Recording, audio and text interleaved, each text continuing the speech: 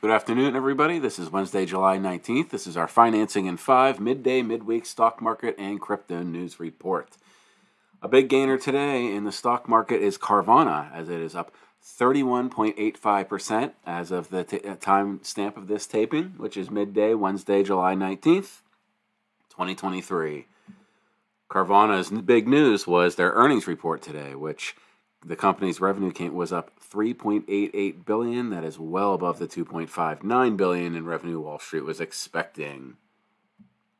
In other news with Carvana, they had a note holder deal, and Carvana and its holders of its 2025 and 2027 unsecured notes have agreed to eliminate 83% of maturities.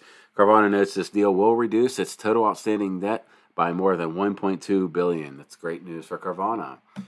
In crypto news, uh, we have XLM as the big gainer today. They are still riding their the coattails of the XRP news from last week's big lawsuit news drop with the SEC and XRP. Uh, XLM is up 25%. You see a couple others that are about 10 and 11, and XRP is still gaining at 82 cents and up 8%. That is today's midday, midweek report and Financing 5 segment with Saga